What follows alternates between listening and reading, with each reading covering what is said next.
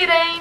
Leuk dat je weer kijkt naar al games en vandaag ga ik verder met Bo's Live Advice. In deze serie ga ik kijkers helpen met hun problemen, met pesten, liefde, familie, wat dan ook. Gewoon alles waar mensen advies bij hebben ga ik vandaag advies geven. Ik ga maar weer gelijk beginnen. Ik heb weer heel wat vragen daarbij. Uh, sorry als jouw vraag er niet bij komt. Dit is omdat ik heel veel binnenkrijg en ik kan echt niet alles behandelen. Het zijn echt meer dan 400 mailtjes of zo. Dus ik kan helaas niet alles behandelen. Maar ik doe mijn best en ik probeer zoveel mogelijk de algemene vragen wel te beantwoorden. Dus laten we maar weer gelijk beginnen. Hoi Bo, ik ben een jongen, 14 jaar jong en heb een vraag. Ik denk dat ik bi ben, maar dit is meer theoretisch dan dat ik echt van beide geslachten houd. Omdat ik vind dat je moet houden van wie je houdt en het geslacht maakt er niet uit. Vind je dat ik uit de kast moet komen? Nou, het is een hele mooie gedachte van jou dat het jou niks uitmaakt of je nou op meisjes of jongens valt. Je kan dit wel vertegenwoordigen, dus je kan wel zeggen van... Uh, ja, ik vind dat je op iedereen verliefd kan worden. Ik vind dat je als meisje op meisje kan vallen. Ik vind dat je op jongen als jongen kan vallen. Ik vind dat zelf ook, maar zelf val ik niet op meisjes, alleen op jongens. Maar ik vind het wel dat dat je als meisje ook gewoon op een meisje verliefd kan worden. Dus je moet eerst even voor jezelf goed nadenken. Kan ik wel echt op hetzelfde geslacht verliefd worden? Val ik daar wel op? Want als je eigenlijk alleen gevoelens hebt voor meisjes, moet je niet uit de kast komen. Ook al heb je deze instelling, zeg maar. Maar als jij gevoelens hebt voor allebei de geslachten, dan kan je zeker uit de kast komen. Hoi Bo, mijn vader doet de laatste tijd erg naar tegen mij. Laatst fietste er een man voor ons. Hij fietste aan de verkeerde kant, dus hij reed bijna tegen mij op. En mijn vader werd er heel boos op. Mijn vader werd heel boos op mij. Ik probeer heel aardig voor hem te zijn. Ik vraag vaak hoe zijn werkdag was. En dan geeft hij een negatief antwoord terug. Ik zit erg te denken aan zelfmoord. Wat moet ik doen? Heel cliché, maar zelfmoord is nooit de oplossing. Als jouw vader altijd heel erg naar tegen je doet, Vraag waarom hij dat doet. Vraag of er hem iets, of er iets dwars zit, of er iets met hem is. Misschien is er op het werk wel iets heel erg aan de hand en geeft hij daarom een negatief antwoord aan jou terug. Het kan ook iets persoonlijks zijn, dus probeer er gewoon naar te vragen. En als hij echt naar blijft doen en jij er echt zo erg mee zit, ga dan alsjeblieft naar een, uh, een familielid of een vriend toe. Er is vast wel iemand die jou begrijpt en die je kan helpen. En uh, volwassenen zijn meestal de mensen die het best kunnen helpen. Als het echt heel erg is kan je natuurlijk ook bijvoorbeeld de kindertelefoon bellen. Die kunnen je ook heel erg goed helpen. Maar probeer het eerst bij een eh, familielid. Bijvoorbeeld je moeder of je oma of ik weet niet. Dat maakt niet zoveel uit. Hoi Bo, ik ben een jongen en ik ben 12 jaar. Ik zit in de brugklas. Ik heb 2 jaar een actief YouTube kanaal. En ik heb op het moment 51 abonnees. Maar er is een groepje uit mijn oude groep 8 die het gay vinden. Ik blijf wel doorgaan, maar ik vind het heel erg vervelend. Ook als ik ze zie en ze zien mij, dan roepen ze altijd mijn kanaalnaam. Ik vind het heel vervelend. Wat moet ik doen? Ik herken dit heel erg. Want toen ik in de eerste zat, deden mensen uit hogere klassen zelfs, dus de vierde, de derde en zo, deden dat ook tegen mij. Ze gingen dan mijn kanaalnaam op een heel vervelende manier zeggen. Of uh, titels van video's. Of iets wat we in de video's deden. Nou, dat is heel vervelend. Dat is helemaal niet leuk. Dus ik helemaal niet op te wachten natuurlijk. Maar wat ik altijd deed, ik, het boeit me gewoon niet. Ik had gewoon een instelling van I don't care. Ik bedoel, het is iets wat ik leuk vind. En als anderen daar grappig over willen doen of het belachelijk willen maken of wat dan ook.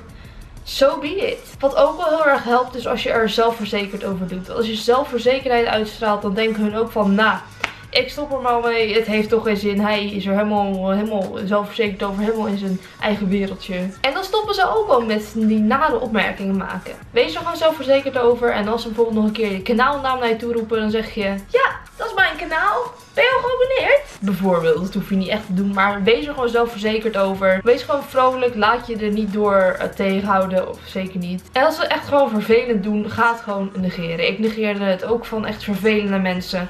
En op een gegeven moment is het wel klaar. Op een gegeven moment denken ze ook van, nou, ik stop er wel mee het, het blijft niet voor heel lang leuk. Het is altijd maar een tijdje dat iets grappig blijft en leuk om te zeggen. Maar dat daalt wel weer af. Blijf maar lekker je kanaal doen en trek je er helemaal niks van aan. Ik weet niet of deze persoon anoniem wil blijven. Dus ik noem alleen even de eerste letters van alle namen die genoemd worden. Hoi Bo, ik ben S. Ik ben verliefd op een jongen genaamd B.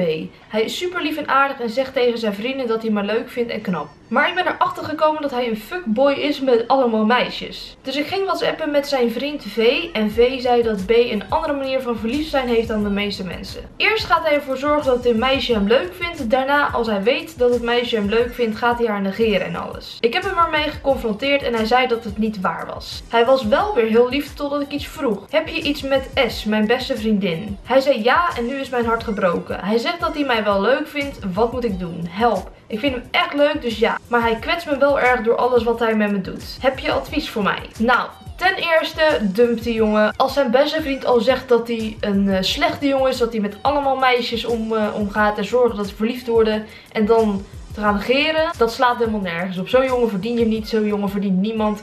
De jongen moet gewoon ver weg van meisjes afblijven, want geen één meisje verdient zo'n jongen. Jouw beste vriendin moet dus ook zoveel ver mogelijk van hem vandaan blijven. En jij ook al helemaal, want dit is niet iemand waarmee je in de buurt wil zijn. Zo'n jongen verdient geen liefde. Een jongen moet trouw zijn aan je en niet je ervoor zorgen dat een meisje hem leuk vindt en dan gaan negeren en dan naar het volgende meisje stappen. Zo zit het niet in elkaar, zo gaat de wereld niet. Op een gegeven moment dan realiseert hij dat ook wel dat waar hij mee bezig is niet kan.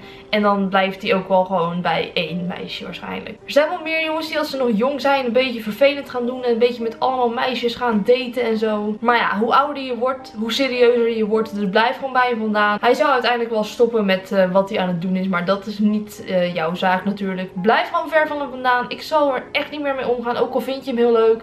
Er zijn genoeg andere jongens die wel ook heel leuk zijn. En je gewoon trouw kunnen blijven. En dat is natuurlijk wat je wilt. Laatste vraag alweer voor vandaag. Hoi Bo, ik heb de laatste tijd veel ruzie met mijn ouders. En met die ruzies word ik meestal geslagen. Ik zit meestal onder de blauwe of rode plekken. Ik word dus een soort van mishandeld. Ik probeer het geheim te houden voor de kinderen van mijn school. Maar soms heb ik ook een blauw oog. Heb je misschien tips voor me om het geheim te houden? Of wat moet ik doen? De kindertelefoon durf ik niet te bellen. Nou, je zegt dat je een soort van mishandeld wordt. Maar je wordt gewoon heel erg mishandeld. Als jouw ouders jou een blauw oog slaan, dat, dat, kan niet. Dat is echt zeker ver over de grens. Je moet echt hulp gaan zoeken. Je moet het vertellen op school aan een ander familielid, aan een beste vriend. Je moet het vertellen aan iemand. Want dit kan niet. De kindertelefoon zijn mensen die heel veel kinderen helpen en die vinden het meer dan normaal om, om zulke vragen te beantwoorden. Zij kunnen jou heel goed helpen. Hun doen dat werk elke dag. Hun helpen elke dag kinderen. Hun geven elke dag advies. Dus probeer wel de kindertelefoon te bellen. Volgens mij heeft de kindertelefoon ook een mailadres en kan je ook chatten of zo met ze. Dus als je niet durft te bellen, probeer dan te chatten of te mailen met ze.